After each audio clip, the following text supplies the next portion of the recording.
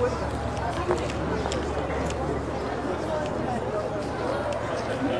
you.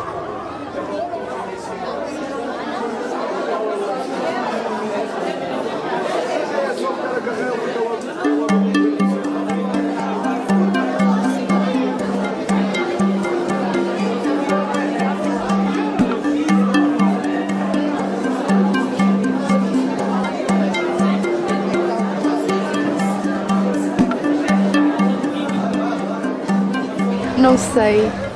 Não temos Não ideia do que vai acontecer, mas. Porque isto também nunca tínhamos tido uma aula destas cá na escola. Vai ser completamente diferente de uma aula normal, porque vai ser aberta a um público muito mais vasto. Vamos estar várias pessoas misturadas, tanto de humanidades como de ciências, e eu acho que o que vai acontecer aqui hoje, vamos falar sobre recursos minerais. Levanta, mostra. Outro, dois, mais, três, mais, quatro.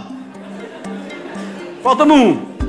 Cinco, fixe. E o tema da minha lição é sobre recursos minerais. Provocatoriamente, eu chamei-lhe eh, o futuro debaixo dos nossos pés. Tive-nos a explicar algumas reservas que nós tínhamos em Portugal de minérios, as nossas principais exportações, porque é que era importante para, para o nosso país. Portugal é um país pequenino, mas é uma festa do ponto de vista geológico. É um banquete geológico. E faz de Portugal um país autossuficiente do ponto de vista dos seus recursos não metálicos.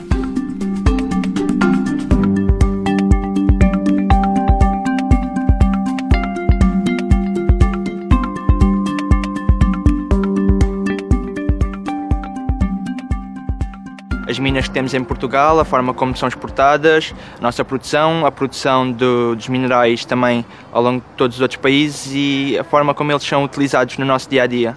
O filamento desta lâmpada. Wolframite, muito bem. Quem é que tem mais? Boa. Levanta, levanta, não sejas tímido, pá. Tu és, és assim com as miúdas, pá. Estás desgraçado.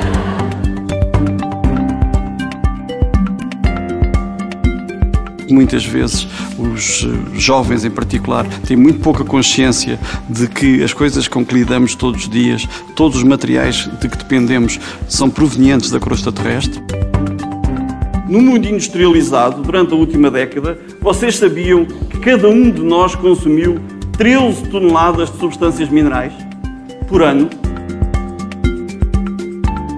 As garrafas de plástico, petróleo, muito bem, um, mais, dois, três, quatro, falta-me um.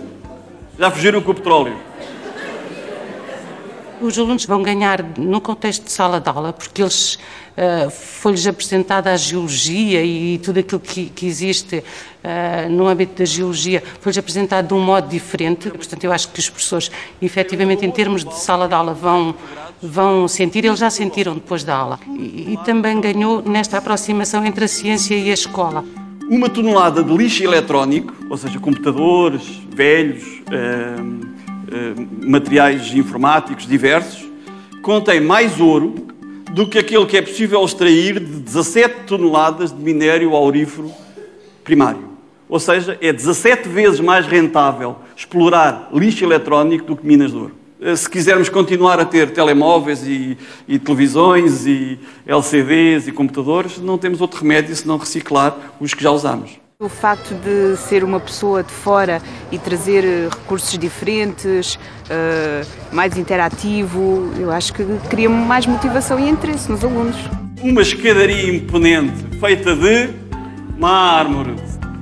Cinco mármores. Muito bem. Vocês são fixe. Vocês são fixe.